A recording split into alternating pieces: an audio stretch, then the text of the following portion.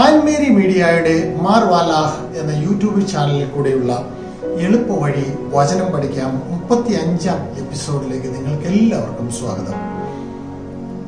പ്രിയമുള്ളവരെ കഴിഞ്ഞ മുപ്പത്തിനാലാമത്തെ എപ്പിസോഡിന് ശേഷം ഒരുപാട് ഗ്യാപ്പായി പോയി ഈ മുപ്പത്തി അഞ്ചാമത്തെ എപ്പിസോഡ് എടുക്കുന്നതിന്. നിങ്ങളെല്ലാവരും പ്രാർത്ഥിക്കണം ഈ ചെറിയ ശുശ്രൂഷയ്ക്ക് വേണ്ടിയിട്ട്. എനിക്ക് വേണ്ടിയിട്ടും നിങ്ങൾ ഓരോരുത്തർക്കും വേണ്ടിയിട്ടും വചനം പഠിക്കുന്നതിന് തടസ്സമായിട്ടുള്ള സകലതിനെയും നമുക്ക് സമർപ്പിച്ചുകൊണ്ട് നമുക്ക് പ്രാർത്ഥിക്കണം. എല്ലാ ദിവസവും വചനം പഠിക്കാൻ തീവ്രമായി ആഗ്രഹിക്കണം. തീവ്രമായ ആഗ്രഹത്തിനായിട്ട് പരിശുദ്ധാത്മാവിനോട് നമുക്ക് പ്രാർത്ഥിക്കാം.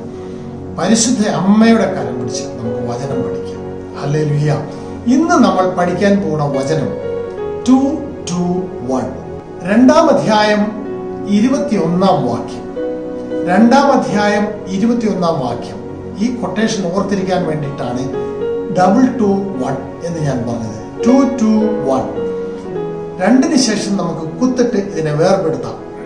രണ്ടാം അധ്യായം ഇരുപത്തിയൊന്നാം വാക്യം. ഏത് പുസ്തകം എന്നിപ്പോൾ നമുക്ക് നോക്കാം. ഇതുവരെ നമ്മൾ ഈ പുസ്തകത്തിൽ നിന്ന് വചനമൊന്നും പഠിച്ചില്ല. ഞാൻ നിങ്ങളെ പഠിപ്പിച്ചില്ല. ഇന്ന് നമ്മൾ പഠിപ്പിക്കാൻ പഠിക്കാൻ പോണ വചനം അപ്പസ്തോല പ്രവർത്തനങ്ങൾ. സ്ലീഹന്മാരുടെ നടപടി പുസ്തകം രണ്ടാം അധ്യായം ഇരുപത്തിയൊന്നാം വാക്യം. അപ്പസ്തോല പ്രവർത്തനങ്ങൾ.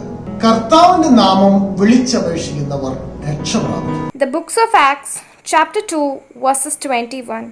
Whoever calls out to the Lord for help will be saved. കർത്താവിന്റെ നാമം വിളിച്ചപേക്ഷിക്കുന്നവർ രക്ഷപ്രാപിക്കും. വളരെ ചെറിയ ഒരു വചനമാണ്. എളുപ്പം പഠിക്കാൻ പറ്റുന്ന വചനമാണ് നമുക്ക് ഏറ്റവും അത്യാവശ്യമുള്ള ഈ സാഹചര്യങ്ങളിൽ ഇപ്പോൾ നമ്മൾ ആയിരിക്കുന്ന അവസ്ഥകളിൽ കൂടുതൽ കർത്താവിന്റെ നാമം വിളിച്ചപേക്ഷിക്കേണ്ട സമയമാണിത്.